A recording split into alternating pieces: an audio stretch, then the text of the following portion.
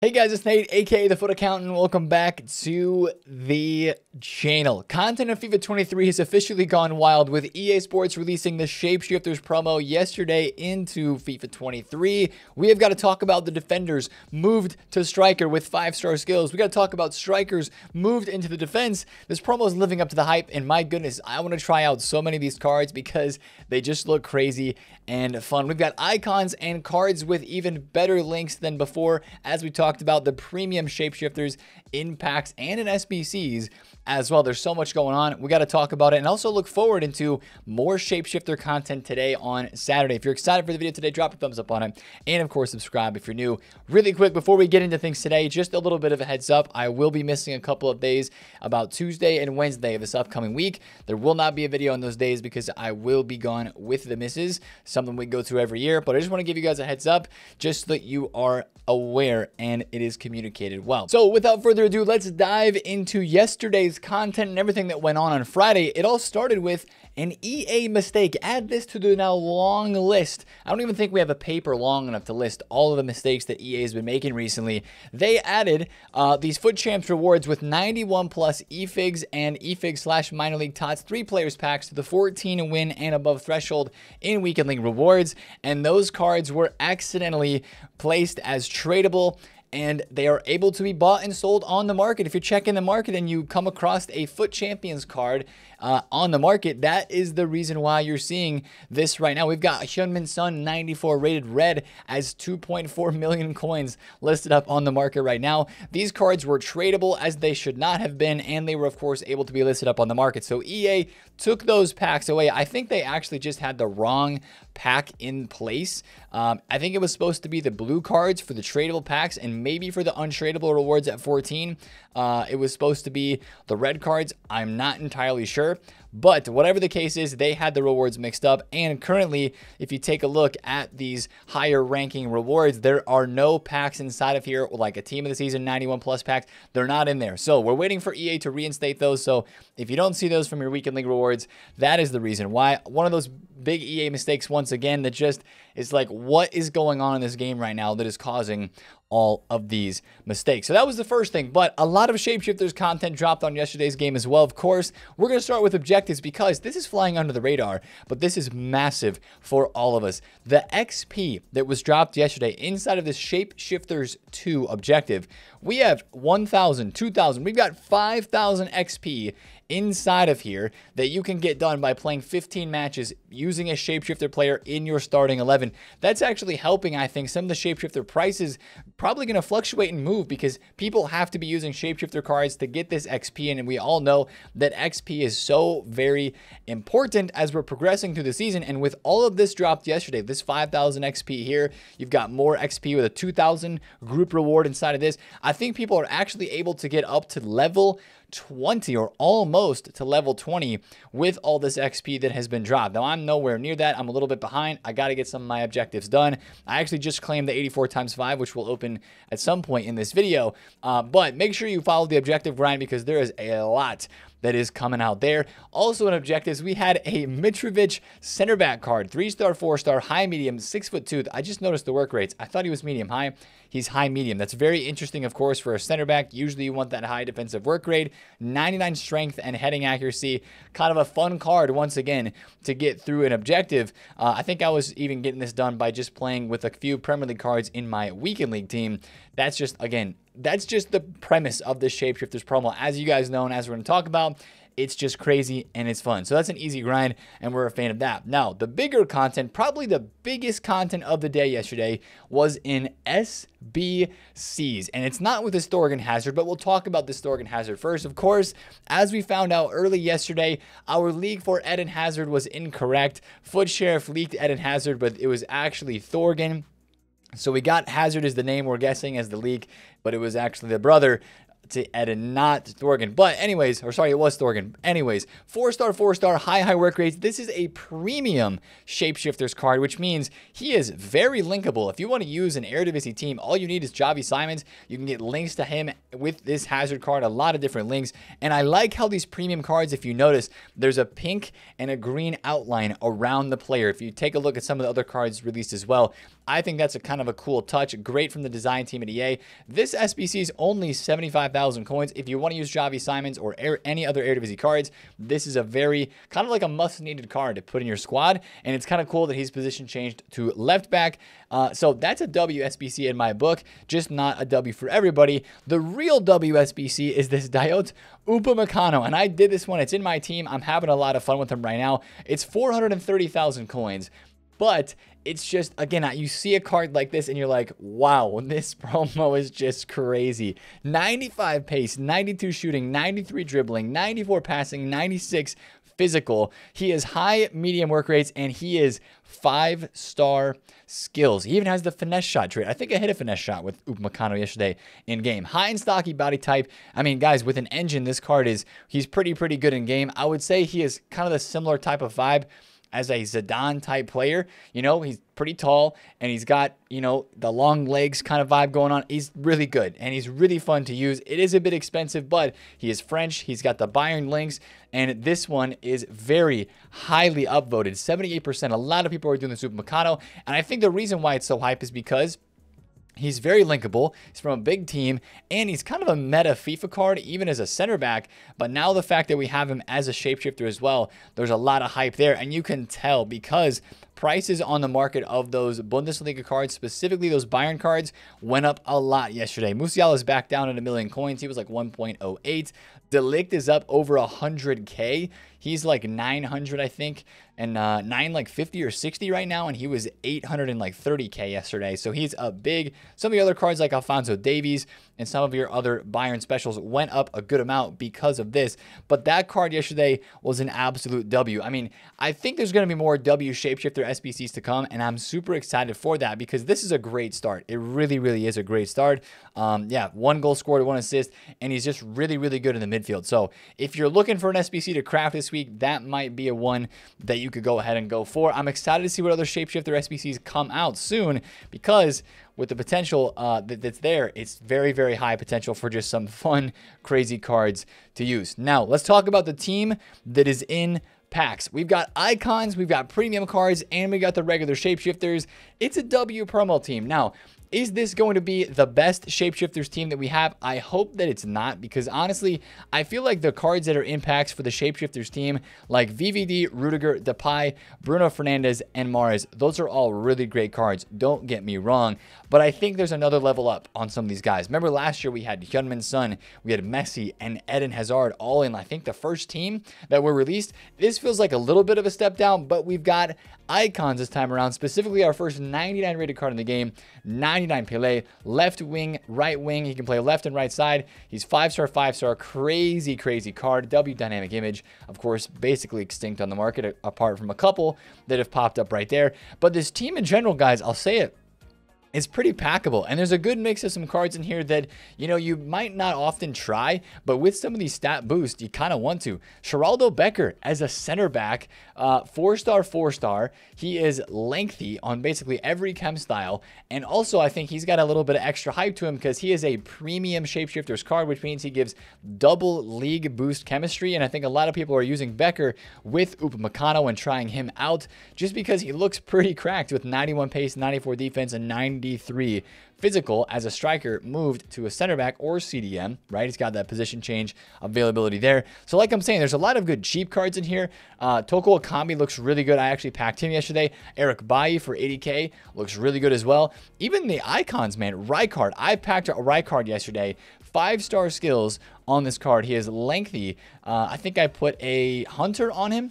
Uh, and he's still lengthy and he's super fun to use. He's kind of just like glitchy with uh, how he feels in game. And that's the excitement with this team, guys, right? We've got really big W boosts in here. We've got a striker, Rudiger, right? We've got a, a, bunch of attackers that have been moved to defense. We've got a bunch of defenders that have been moved up. It's just crazy with the cards that we got it just is kind of like mind boggling, but it's also fun at the same time to see these cards released on the game and say, wow, I'm going to use a Bruno Fernandes that is a bunch of pace and five star skills on the wing instead of using him centrally uh, like you most often would. Or the Rudiger, right? Striker Rudiger. I picked one up about an hour ago for 705,000 coins or something along those lines, and he is up a good bid. But just a card like this is like, yo, I want to try this card because it looks crazy. 99 finishing attack positioning. Uh, sorry, 99 shot power, long shots, and attack positioning on Rudiger. 99 composure and reactions with 99 aggression. Like, I just want to try this card out with a five star weak foot as well. He looks so crazy. And that's the fun that we are having here with this promo. It's not realistic at all, but welcome to content on FIFA just going wild and changing. Now, one thing I will tell you guys, they these cards, they hide in the back of packs. I packed Rijkaard yesterday. He's in my team and I packed him out of an 84 times 3 pack. He actually walked out of the pack at the front. I got to see the animation because he was the only walkout in the pack. Now, 84 times 5, let's see if we get anything here. A lot of times these guys do not walk out because they kind of sit behind the walkouts. Well, I'm getting an 85, so probably not a shapeshifter in this. Wow, that's a woeful pack. That is a woeful pack. Goodness. Okay, well, that uh, level 5 reward was not super great for me. But just kind of check out, if you're opening packs this week, just check the back of every pack that you open because there might just be a shapeshifter at the back. You never know. So that's what I'll say about that. But that's kind of also something we wish we wouldn't have happen. We'd like to see these cards walk out because it's better that way. But again, guys, you look at this team and it just looks like a lot of fun. I love the cheap cards. Frankowski looks really cracked. A lot of people are saying he's on par with a Diaby type player. He's a premium item, so he gets those links as well. Um, you know, Depay looks crazy. Van Dijk was extinct at 5.7 mil, and now he's 8 million coins. You got a price range up that he is ridiculously overpriced. And again, that's how this team is kind of set up. We got really cheap cards that are fun to try out, uh, like the Eric Bailly, uh, like the Frankowski's pretty cheap, like the Becker. Then you've got really expensive guys like Pele. You've got Van Dijk, and of course, Bruno and Mahrez being very, very expensive. The icons as well. Socrates looks absolutely amazing. I don't know if you guys are looking at any of these cards and saying, I want to try any of them out. Socrates looks cracked. Hierro looks pretty good for a 50 or 60k card as well. Van Persie with two versions, we kind of like that. And then, like I mentioned, Rijkaard, he's fun as well. So I got nothing against this promo team. Do I think it could level up? Yes. Uh, but I think this is a really, really solid team. Now, a little bit of information about shapeshifters because EA actually told us a lot on their webpage. They have told us that this is going to be a three week promo, right? The mini release is going to come Sunday, which we'll have more on that in a second. Then there's going to be a second team launching next Friday with the third team the Friday afterwards on June 30th. So it's a three week promo, not a four week promo unless they re release cards and packs, I guess you could say. But probably by the end of this point, we're going to be looking towards the potential of a summer heat promo starting in July. It would just make sense if that were to come after this Shapeshifters promo. So that's kind of the timeline. It's going to be a longer promo, but that also brings the potential for really good content. I want to show you guys this image that EA is using on their website to kind of talk about premium chemistry. They're showing basically this has to be Kevin De Bruyne, right? Manchester City in Belgium, and then also a Brazilian from Real Madrid with the premium links. I don't know if this is just a concept or if this is EA actually teasing something that's to come in a future Shapeshifters team. I feel like there could be better players released in these promos as we move on throughout them. So I'm pretty excited for that as well. Now, again, it mentions in here that there's a mini release to follow on Sunday, June 18th. And if you look at Team 1 on their website here, you're going to notice that there's a lot of cards in here that are in packs that are missing, right? Where's Eric Bailly? Where's Frankowski? Well, they're in packs right now, and it is believed that EA accidentally released Orsolini, Eric Bailly, and Frankowski early. Like these were supposed to be the mini release cards. That is a leak from FIFA U Team, and it makes sense because their website does not show those three, and those are in packs. So once we get to tomorrow, we'll kind of figure it out uh, if we're going to get more cards or not. If we don't get any more than these three, because uh, they're already in the game. So we'll have to see what happens there. But that's uh, the promo team, and that's basically everything that dropped yesterday on this game. Now, with everything that dropped, let's talk about the market a little bit because it's not like we had crazy, crazy price movements yesterday. The market's not crashing by any stretch of the imagination right now. A lot of prices are kind of just in limbo. Yes, there are cards that have gone up. We talked about it, right? A lot of the Bayern links have gone up because of the Upamecano, and there's a lot of hype there. And yes, some of these shapeshifters are drawing a lot of hype, which is moving some prices. But it, for me, when I look around and look at a lot of the TOTS cards, And guys, if you bought stuff for your team this weekend and the past week or so, you're really not losing a lot of coins right now, uh, unless you maybe bought one of the two or three unlucky cards. It has dropped off a good amount. Uh, I think, is hurting a little bit right now. He's like 2.4 mil. Kavicha is down a little, but a lot of these guys are kind of in the same range, right? De Bruyne still 500, Messi still 3 mil, Salah 800k, Jude's down a little, Militao is up a little, um, and really, I feel like the the, the market's not going to get hurt as much right away. I could see these prices, as we've been saying, on the top tier. I feel like the top tier of this market right now is where there's the biggest potential for drop off because we've got a lot of really insane top tier shapeshifters like the VVD, like the Rudiger, but especially the Mahrez being five star, five star, and the Bruno Fernandes being 97 rated, and the icons being out as well. There's more potential for the top tier to have bigger drops, in my opinion, because people with the coins are going to want to swap to these new most meta cards in the game as a part of the Shapeshifters team. So I think if you're on a lower tier budget, I think you're still pretty safe to be trying cards out and playing Weekend League with them. Again, just be careful. Don't hold on to them forever. But it's not like we're seeing an immediate market impact on most of the market because of these Shapeshifters uh, and the ones that have dropped. Now, that could continue to change, though. We'll just have to see based on the SBC content that we get. And that's what it boils down to now. And that, I want to look forward into the future next. Of course, we've got so much potential with the Shapeshifters promo, right? We saw on that little screen that EA had added to their website a maybe a KDB and maybe like I don't know Vinny or Rodrigo or a Militao shapeshifters. Guys, the potential for shapeshifters is unbelievable, right? A striker Harry Maguire is somebody is something that everybody wants in this game. That could be content that is still upcoming. So again, who knows? We don't get a lot of leaks, right? I mean, we had a few leaks for the promo cards and we knew a few of the names before yesterday, but it's not like the leaks are coming out as crazy as they were um, during like team of the season. Seems like they're a little bit more delayed, a little bit slower, which I think is a W. Um, but also, you know, just kind of something to take notice of. Maybe we don't get leaks until right before that second team is going to come out or before an SBC is going to come out the day of. And then you don't have as much panic selling before that. So the drop offs are steeper and uh, kind of more pronounced. We'll have to see. So that kind of just depends on what the content is that is upcoming. Now, speaking of that, we do have one leaked SBC player that I think might be today because we had a shapeshifter Upamecano yesterday. Maybe E is going to switch it up today on Saturday and go with a shapeshifter icon SBC. This is a most likely SBC leaked by FUT Sheriff Zambrotta. Super interested to know where he would play. I think Zambrotta's already had an SBC this year, right? His prime was released. His prime, of course, you can play right back or left back. This card would be really fun to use and potentially really, really meta in the midfield. He could also be a center back, but a CDM Zambrotta, I think, would be really, really nice. And I think this has the highest percentage chance of being part of our content today on this game. Can you imagine this Zambrotta card, 5'11 with a 4-star skills, 5-star weak foot already. Imagine a 5'5 Zambrotta at, in the midfield, right? They boost his dribbling up a good amount so that he can be, you know, he's he's not that tall, 5'11, so maybe he'd be a bit more quick and shifty. They boost up his pace a little bit more too. That could be a really, really good card and a really great SBC. So watch out for that one coming today.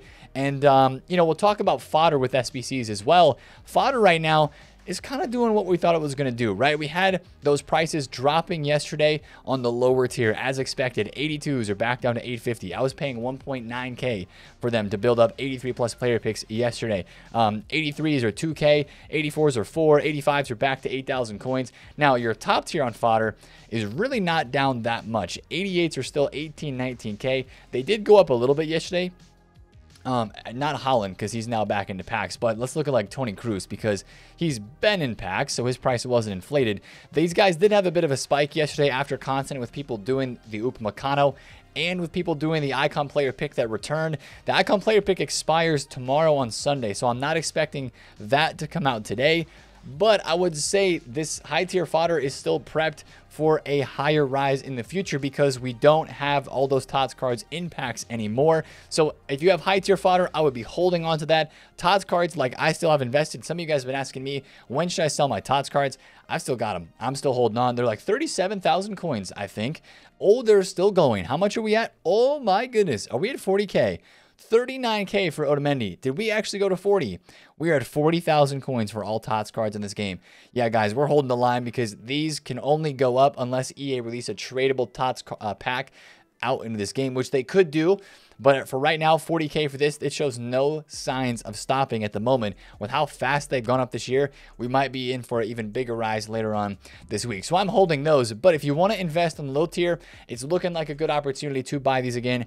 85s at 8K are great. 82s under 2K is preferred. 84s under 4K is preferred as well. Um, it just really depends on what we get today. If all we get is Zambrotta and he's decent value, that might make some of these cards drop a little bit lower into tomorrow and Sunday where we can pick them up. So we're watching that situation very closely, but it is the weekend.